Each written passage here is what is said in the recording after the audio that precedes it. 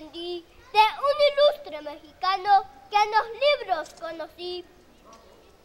Benito Juárez García a pastor se dedicó desde que era pequeño huerfanito se quedó.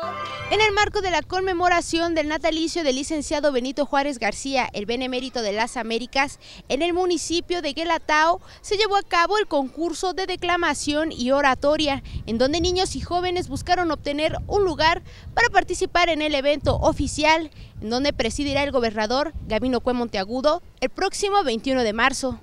Desde muy temprano, las y los participantes, en su mayoría niñas de entre 4 y 16 años, comenzaron a arribar al Palacio Municipal de Guelatao para competir por el primer lugar y ser partícipe en el evento oficial, en donde estará presente el gobernador del estado. En entrevista, el representante de la Delegación de Servicios Educativos del Instituto Estatal de Educación Pública de Oaxaca en la región de la Sierra, Francisco García López, comentó que este evento se realiza desde hace 10 años, en el cual participan estudiantes de toda la región. Básicamente todos los niveles educativos desde preescolar, primaria, secundaria y medio superior realizan eventos previos es decir, se hacen eliminatorias por cada zona escolar y los ganadores vienen a participar en esta ocasión acá.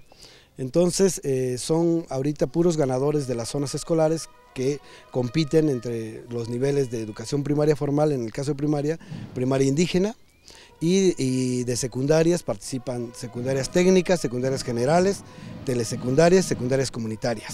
Señaló que en este año se incluyó la participación de las y los niños de preescolar, quienes mostraron mucho empeño en el desarrollo de sus discursos, algunos con recitales inéditos en honor a Benito Juárez García. Oh Juárez, tu nombre describe la historia rotunda y solemne como eco de Dios, con lira de oro, la canta la gloria.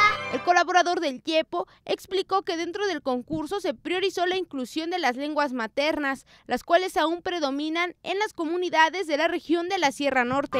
De hecho, eh, varios de los concursantes inician su, participación en, lengua materna.